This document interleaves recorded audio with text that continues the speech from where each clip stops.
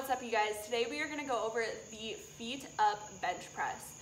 Now you will see this done two different ways. I will show you both. In our off season is our time to really focus on those accessory movements, those secondary movements, and really um, focusing on working things that we're not used to working. So what happens is the feet up bench press not only focuses on more of that hypertrophy. So what the feet up bench press does is it takes the leg drive out of our movement and allows us, not allows us, it forces us to really use our chest more in our movement rather than relying on leg drive. You'll see a lot of powerlifters relying on leg drive even during hypertrophy movements.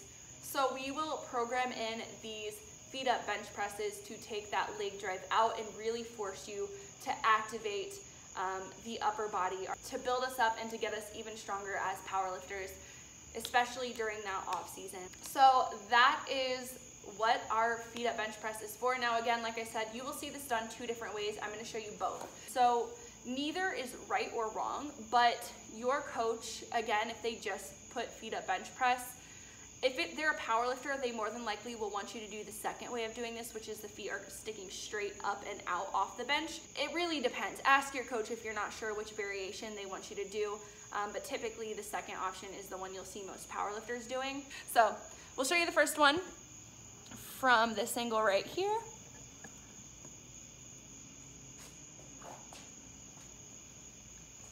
All right, so this is our first variation, feet up on the bench, bench press.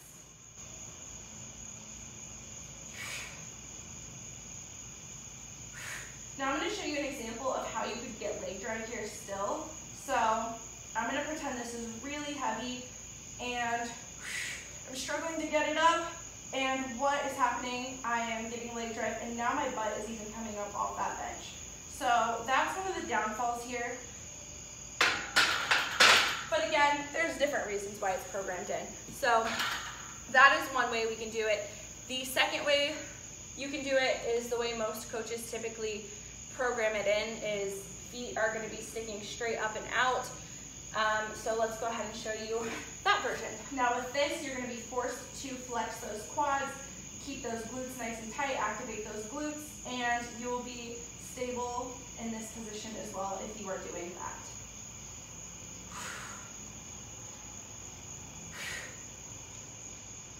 Now let's say you're really struggling towards the bottom and struggling to press up. Can't push off and get leg drive here.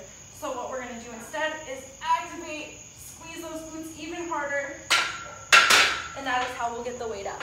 So it still isn't coming from leg drive, but it's coming from that stability of flexing or squeezing those glutes and quads. So neither one of those is wrong. Like I said, you may get programmed in both or either one.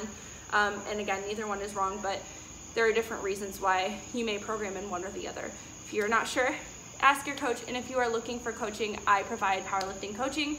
You can head to flexclub.fit for coaching or go to the link in my description if you guys are interested.